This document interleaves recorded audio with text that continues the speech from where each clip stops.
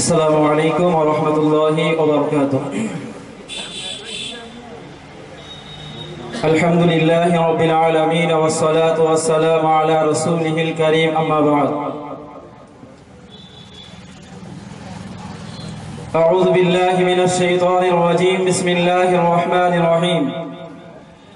واعتصموا بحبل الله جميعا ولا تفرقوا. وقال النبي صلى الله عليه وسلم يد الله على الجمعة ومن شذا شذا في النار أو كما قال النبي عليه الصلاة والسلام সমস্ত প্রশংসা মহান আল্লাহ পাকে এর পরপরই রসুলের উপরে দরুদ আজকের উপস্থিত আজকের এই অনুষ্ঠানের সভাপতি এবং জামিয়া রহমানিয়ার আসাদিদাই করম এবং সম্মুখে বিভিন্ন স্তরের শ্রোতা মণ্ডলী। যে বিষয়টি আমার দেওয়া হয়েছে, বিষয়টি হলো যে ভারত স্বাধীনতা সংগ্রামে মুসলমানেরা কি খারিজ? ছোট্ট এই বিষয়টিকে কেন চয়ন করা হয়েছে? এটা আমাদের ভাবতে হয়, এর উল্টোটা।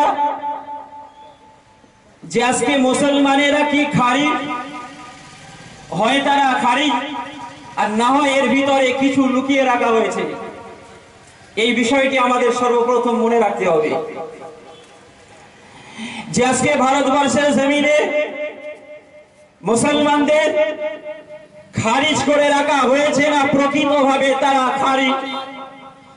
এই বিষয় জানতে হলে সর্বপ্রথম আমাদের জেনে রাখা উচিত, এই ভারতবর্ষকে স্বাধীন করতে গিয়ে যারা সর্বপ্রথম হুঙ্কার দিয়েছিলেন, যারাই সর্বপ্রথমের মাথা, এর ভিতরে মাথা দিয়েছিলেন, ইংরেজ সরকারকে দমন করতে গিয়ে তারা হলেন অন্য কেউ নয়। তারাই হলেন এই ভারতবর্ষের বিখ্যাত ওলামাই কালাম সর্বপ্রথম যিনি দিয়েছিলেন হযরত মাওলানা শাহরিউল্লাহ মুহাদ্দিস দেহলভী রাহমাতুল্লাহ আলাইহি, সুযোগ্য সন্তান হযরত মাওলানা শাহ আব্দুল আজিজ মুহাদ্দিস দেহলভী রাহমাতুল্লাহ আলাইহি সহ বহু ওলামাই কালামেরা এই ভারতবর্ষের জমিনে সর্বপ্রথম ইংরেজদের বিরুদ্ধে হুঙ্কার দিয়েছিলেন এই হুঙ্কার দেওয়ার সঙ্গে সঙ্গে যখন তারা দেখল হুঙ্কার দিয়েছেন এই হুঙ্কার দেওয়ার সঙ্গে সঙ্গে হযরত মাওলানা হাজী ইমদাদুল্লাহ মুহাজির মক্কি সহ ওলামায়ে কারামেরা তাদের সঙ্গে সতেরোশো সাতান্ন খ্রিস্টাব্দে তাদের সঙ্গে মোকাবেলা করেছিলেন।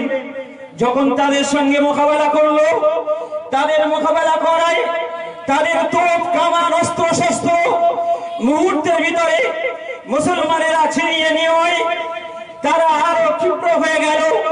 যখন তারা ক্ষিপ্র হয়ে গেল, দেখতে পাওয়া গেল, এক থেকে দু সপ্তাহের ভিতরে দুই লাখ মুসলমান যাদের মাথায় টুপি ছিল, যাদের মুখে দাড়ি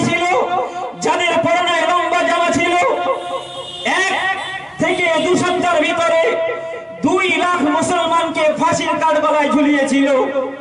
এখন ভাবা দরকার, মুসলমানেরা কি এর ভিতরে এই বিষয় নিয়ে মুসলমানেরা কি খারি শুধু তাই নয়, এই পরিস্থিতির মধ্য দিয়ে যখন তারা অত্যাচার শুরু করে দিল, মুসলমানদের মালগুলি, মুসলমানদের সম্পদগুলি তারা যখন হনন করতে লাগল, এই পরিস্থিতির মধ্য দিয়ে সতেরোশো সাতান্ন খ্রিস্টাব্দে হজরত মাইলানা ফজলে খায়রাবাদী রহমতুল্লাহ আলাইহি, তিনি দিল্লির জুমা মসজিদে দাঁড়িয়ে তিন শত ওলামাই কারামকে নিয়ে, তিন শত ওলামাই কারামকে নেতা নিয়ে প্রকাশ্যভাবে ইংরেজ সরকারের বিরুদ্ধে যুদ্ধ ঘোষণা করেছিলেন। যখন তারা যুদ্ধ ঘোষণা করলেন, যুদ্ধ ঘোষণা করার পর ভাগ্যের পরিহাস হজরত মাওলানা ফজলে হক খায়রাবাদী রহমতুল্লাহ আলাইহি সহ সেই দিনেতে সেই সময়ে তাকে ব্রিটিশ সরকারের আন্ডারে গ্রেফতার করা হলো। গ্রেফতার করে রাখা হলো। আন্দামানের সেলুলার জেলে তাকে বন্দি করা হলো। এই পরিস্থিতির মধ্য দিয়ে হযরত মাওলানা ফজলে হক খয়রাবাদী রহমাতুল্লাহ আলাইহি জানতে হবে তারা কি কি পরিস্থিতির ভিতর দিয়ে রেখেছিল। তিনি যে ওই জায়গায় গ্রেফতার হয়েছিলেন কেন হয়েছিলেন? তিনি অন্য কোনো কারণে হননি দেখতে পাওয়া গেল তারাকে যখন গ্রেফতার করে ওই জেলের ভিতরে রাখা হলো, জায়গা দেওয়া হলো বাথরুমের মতো একটি ছোট্ট ঘর, যার ছাদ ছিল ফুটো, উপর দিয়ে পানি পড়তো। ওই সংকীর্ণ ঘরে পানি পড়ে পড়ে তলায় পানি জমে যেত। এই পরিস্থিতির মধ্য দিয়ে হযরত মাওলানা ফজলে খায়রাবাদীকে তাকে কাফন পরিহিত অবস্থাতে গ্রেফতার করা হয়েছিল। দেওয়া হয়েছিল। একজন বিখ্যাত আলেম ছিলেন তিনি। জগৎ বলম আলেমকে দেওয়া হয়েছিল। হাফ প্যান্ট আর হাফ শার্ট তাকে জেলের ভিতরে পড়তে দেওয়া হয়েছিল। আফসোসের বিষয় হলো, শুধু তাকে ওই অবস্থাতে রাখেনি, তাকে ওই জেলের ভিতরে খাদ্য দেওয়া হতো। বিভিন্ন ধরনের বিভিন্ন ধরনের সিদ্ধ মাছ, যা ছিল দুর্গন্ধময়, যা ছিল দুর্গন্ধময়। এরপর তাকে খেতে দেওয়া হতো। বালি মেশানো রুটি পানির পিপাসায় পিপাসিত, এই অবস্থাতে তাকে দেওয়া হতো, টকবক টকবক করে ফোটা গরম পানি দেওয়া হতো।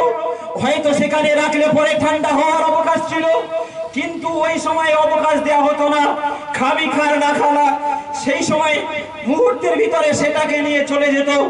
কিন্তু তিনি পানির পিপাসা সহ্য না করতে পেরে ওই গরম টকবক করে ফোটা পানি তিনি পান করেছিলেন ওই জেলের ভিতরে। ওই পরিস্থিতি যখন রাখা হয়েছে যখন সেখানে পানি জমে যেত সেখানে তাকে পরিস্থিতিতে সেখানে কাঁকড়া বিছা, সেখানে সার পোকা, সেখানে মোছা রাত্রে বেলাতে ওই সমস্ত কিছু সব তাকে দংশন করত, যন্ত্রণায় ছটফট করত। এর পরিস্থিতির ভিতর দিয়ে তাকে দিনের বেলাতে যথাযথভাবে বেত্রাঘাত করা হতো। তিনি সহ্য করতে পারতেন না। নোংরা অবস্থায় থাকাতে তার গায়ে দাঁত একজিমা চুলকানি জমে গিয়েছিল। সমস্ত গা চুলকে ছিঁড়ে যেত।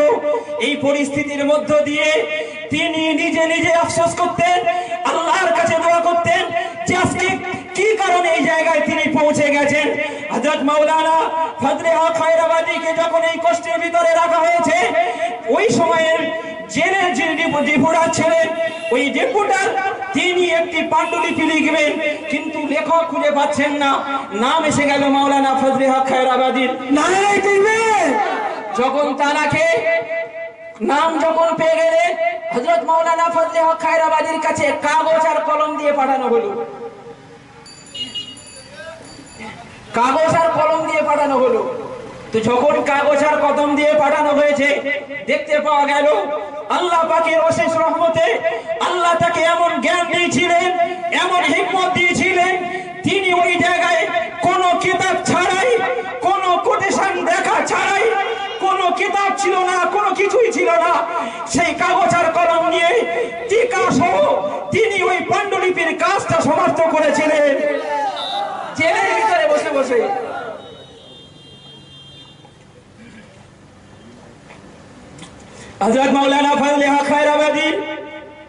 এই পাণ্ডুলিপিটা যখন ডেপুটারের কাছে গেল, ডেপুটার হতবাক হয়ে গেলেন যে আজকে আমরা কাকে বন্দি করে রেখেছি? কিন্তু যিনি ওই সময় তিনি কি করলেন? হযরত মাওলানা ফজলে হক খায়রাবাদীর সঙ্গে সাক্ষাৎ করবেন। তিনি দেখতে পেলেন, সাক্ষাৎ করতে যাচ্ছেন, হাতে একটা সেই পায়খানা পরিষ্কার করার টিন পরনে রয়েছে হাফ প্যান্ট হাফ জামা, হাতে রয়েছে ঝাড়ু, গায়ে রয়েছে দাঁত জিমা চুলকানি। তিনি আস্তে আস্তে আসছেন, ডেপুটি জেলার বললেন, আপনি হাত থেকে এগুলো নামান। তিনি সম্মান বজায় রেখে হাত থেকে নামালেন। সঙ্গে সঙ্গে জড়িয়ে ধরে বললেন, আপনি আমাকে ক্ষমা করে দিন। বুঝতে পারিনি এইভাবে আপনাকে আটকে রাখা। এইভাবে আপনাকে আটকে রেখেছি। এটা আমাদের অপরাধ। তবে আমরা আজকে আপনাকে যে জামিন দিয়ে দেব, আপনাকে যেখান থেকে পরিত্রাণ দিয়ে দেব, সে ক্ষমতা তো আমাদের হাতে নেই। তবে আপনি যে এত বড় ব্যক্তিত্বের মানুষ, আপনাকে চিনতে পারিনি। সেই কারণে আজকে আমরা পুরস্কার করতে চাই। হযরত মাওলানা ফজলে হক খায়রাবাদী ওই সময় বলেছিলেন, তোমরা শুনে দেখে নাও লাকনুর কোটেতে যখন আমি ফতোয়া দিয়েছিলাম, ইংরেজদের বিপক্ষে ওদের সঙ্গে যুদ্ধ করার, সেই দিনে আমি, তারা আমাকে বলেছিল, তাদের পক্ষে যদি আমি সাক্ষী দিয়ে দেই, তাদের পক্ষে যদি ফতোয়াটা তাদের পক্ষে দিয়ে দিই, তারা আমাকে জামিন দেবে বলেছিল। কিন্তু না না, আমি দুনিয়ার কোন মানুষের কাছ থেকে এই যাজা নিতে চাই না দুনিয়ার কোন মানুষের কাছ থেকে এর প্রতিদান নিতে চাই না এরপর ব্রিটিশ সরকারের কাছ থেকে বিন্দু পরিমাণ আমি প্রতিদান নিতে চাই না আমার প্রতিদান খোদার লাফাকের কাছে রয়েছে জোরে বলুন সুবহানাল্লাহ আজাদ মাওলানা ফাজলে হক খায়রাবাদী তিনি যখন ওই রকম বললেন ডেপুটি আশ্চর্য হয়ে গেলেন তাকে কীভাবে কীভাবে এখান থেকে বার করা যায়? কিন্তু ভাগ্যের পরিহাস, তাকে তো বার করার মতো কোনো পরিস্থিতি নেই। আজাদ মাওলানা ফাজলে হক খায়রাবাদীকে যখন ওই অবস্থায় রেখে দিলেন, তিনি যে কাফন পরে গিয়েছিলেন, ডেপুটির কাছে কাফনটা চাইলেন যে আমার কাফনটা আমার কাছে ফিরিয়ে দেওয়া হোক। হযরত মৌলানা ফজলে হক খায়রাবাদী রহমাতুল্লাহ আলাইহির কাছে যখন কাফনটা ফিরিয়ে দেওয়া মাওলানা সাহেব, ওই সময় তিনি ওই কাপড়ের উপরে কয়লার কাঠ দিয়ে তিনি কেন স্বাধীনতা সংগ্রামে নেমেছেন? কেন তিনি স্বাধীনতা সংগ্রামে পা দিয়েছেন? সমস্ত কিছুকে সব কিছু লিখলেন এবং বর্তমান পরিস্থিতি কীভাবে তাকে রাখা হয়েছে সব কিছু তার ভিতরে লিখে বইটি অন্য কোনো ভাষাতে লেখেননি। বইটি লিখেছিলেন আরবি ভাষাতে, যার নাম দেওয়া হয়েছিল আসাউরাতুল হিন্দিয়া, ভারত বিপ্লব। এই নাম দিয়ে তিনি সন্তানের কাছে ওই কাফনটা, লিখিত কাফনটা পাঠিয়ে দিলেন। সন্তানের কাছে যখন কাপড় কাফন পৌঁছে গেল, হযরত মাওলানা ফজলে হক খায়রাবাদীর সন্তান আব্দুল হক, তিনি যখন ওই কাগজ ওই কাফনটাকে খুলে দেখলেন, তার ভিতরে আব্বা জানের লিখিত কিছু কথা লেখা রয়েছে। পড়ে তিনি ঝরঝর করে কাঁদছেন। সঙ্গে সঙ্গে তিনি আপিল করলেন। আব্বার জামিনের জন্য তার জামিনও হয়ে গেলেন। তিনি আন্দামানে যাওয়ার জন্য জাহাজে উঠলেন। তিনি আন্দামানের ঘাটে পৌঁছে গেলেন। তিনি দেখতে পেলেন যে শত শত কয়েদি একটা জানাজার পিছনে ছুটছেন। একটা জানাজার পিছনে তিনিও সঙ্গে সঙ্গে ওই জানাজার পিছনে ছুটছেন, দেখছেন কয়েদিরা হাওয়া হাও করে কাঁদছে, কি ব্যাপার? কয়েদিরা কেন কাঁদে? পাশ দিয়ে জিজ্ঞেস করলেন যে, ভাই, আপনি কাঁদেন কেন? আর আজকে আপনারা দৌড়াচ্ছেন কেন? বললেন, আজকে আমরা অন্য কোনো কারণে কাঁদিনি। যিনি ভারত সংগ্রাম করবার জন্য ইংরেজদের হাতে ধরা পড়েছিলেন, তার আদর্শ চরিত্রের কাছে আমরা গোলামি। আদর্শ চরিত্রের কাছে বিক্রি। আজকে তিনি দুনিয়ার জগৎ থেকে বিদায় নিয়েছেন। তিনি হলেন অন্য কেউ নয়। তিনি হলেন হজরতে মৌলানা ফজলে হক খায়রাবাদী রহমাতুল্লাহ আলাইহি। সন্তান ঝরঝর করে কানতে কানতে সমস্ত লোক দিগকে সাইড করতে করতে আব্বাজানের খাটিয়ার কাছে গেলেন। গিয়ে সত্যি আব্বাজানের কাফনটা উঁচু করে দেখলেন, আব্বাজান আর জগতে বেঁচে নাই। ঝরঝর ঝরঝর করে কানতে লাগলেন। আপনি কেন শেষের বেলাতে এটা পাঠিয়েছেন আপনি আগে তো পাঠাতে পারতেন আপনাকে কি অবস্থাতে রাখা হয়েছে বিশ্বের জগতে বসে- ভারতের মানুষ তারা কোনোদিন আপনার এই কষ্টকে মেনে নিত না আপনি যদি আগে জানাতেন নিশ্চয়ই ভারতবর্ষের মানুষ এর প্রতিশোধ তারা নিয়েই ছাড়তো ভাগ্যের পরিহাস তিনি জানাননি। কি কারণে জানাননি? তার একা কষ্ট দেওয়া হচ্ছে। তিনি চাননি যে আমার একা কষ্টের পরিবর্তে হাজার হাজার প্রাণ চলে যায় হাজার হাজার মানুষের রক্ত ভারতবর্ষের জমিনে খেয়ে যায় তিনি এটা কোনোদিনের তরেই চাননি। তিনি যদি চেতেন তাহলে পূর্বেই তিনি বলে যেতেন। আরও খেয়াল করা দরকার। হযরত মাওলানা মাহমুদুল হাসান দেওবন্দি রহমাতুল্লাহ আলাইহি, তিনিও যখন ইংরেজদের হাতে ধরা তিনি যখন ধরা পড়েছিলেন, তাকে রাখা হলো মাল্টার জেলে। হযরত মাওলানা মাহমুদুল হাসান দেহবন্দি রহমাতুল্লাহ আলাইহিকে যখন মাল্টার জেলে রাখা হলো, তিনি ইন্তেকালের পরে তাকে দেওবন্দে নিয়ে যাওয়া হলো। যখন তাকে নিয়ে যাওয়া হয়েছে, তখন সেই সময় তারা ছাত্র হযরত মাওলানা হোসাইন আহমদ মাদানী রহমাতুল্লাহ আলাইহি তিনি তখন কলকাতায় ছিলেন, কলকাতা থেকে ফিরলেন। তার গোসল দেওয়ার জন্য যখন চৌকিতে লাশ রাখা হয়েছে, আফসোসের বিষয়, চৌকিতে যখন লাশ রাখা হয়েছে, আশ্চর্যের বিষয় হলো, তানার কোমরে গোস্ত ছাড়া আর কিছুই তারা গোসল দেওয়ার সময় পায়নি। আশ্চর্য হয়ে গেলেন, কি ব্যাপার? হোসাইন আহমদ মাদানি যখন ফিরলেন, তখন বিস্তারিত সব বর্ণনা করলেন। হযরত মাওলানা হোসেন আহমদ মাদানী ঝরঝর ঝরঝর করে কাঁদছেন। আপনার কান্নার কারণকে জিজ্ঞেস করল?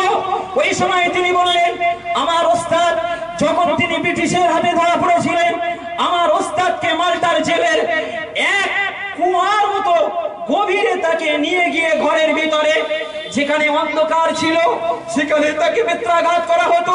এই বেত্রাঘাত করতে করতে তিনি বেহুশ হয়ে যেতেন। হুশ ফিরলে পরে তাকে শিখ গরম করা হতো। এই শিখ গরম করে নিয়ে তার সেক দেওয়া হতো। করে কাঁদছেন হুজুর, আপনি কেন এতদিন এটা বর্ণনা করেননি? বললেন, আমার ওস্তাদের ওসিয়া ছিল। যখন আমি মালটার ছিল আমার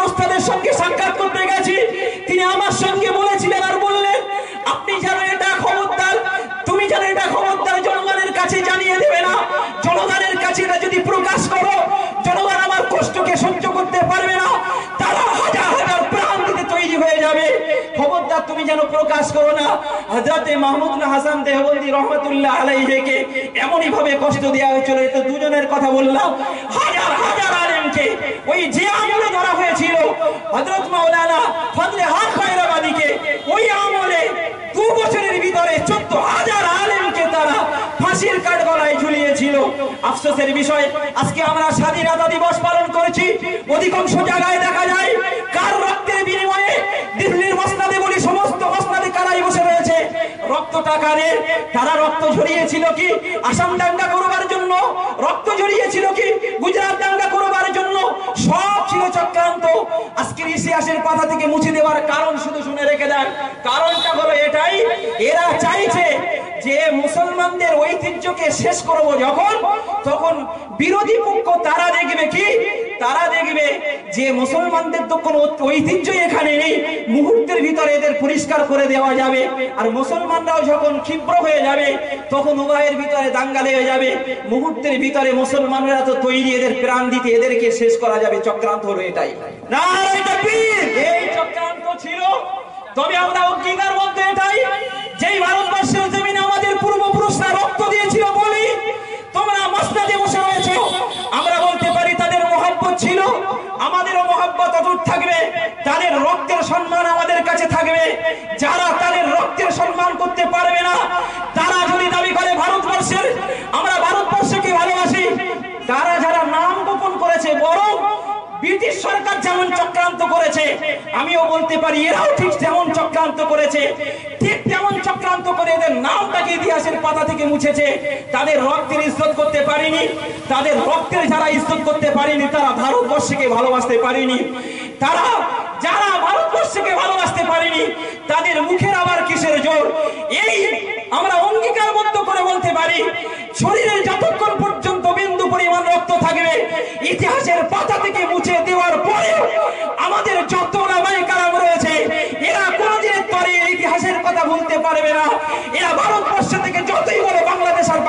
চলে যাও। এদেরকে তাড়ানো যাবে না আল্লাহ চাইলে ইনশাআল্লাহ! আল্লাহ আমাদের সুমতি দান করুন আল্লাহ আমাদের হিকমত দান করুন বলুন আমি সুম্মা আমিন ওয়া আখির দাওয়ানা আলহামদুলিল্লাহ। আলহামদুলিল্লাহ।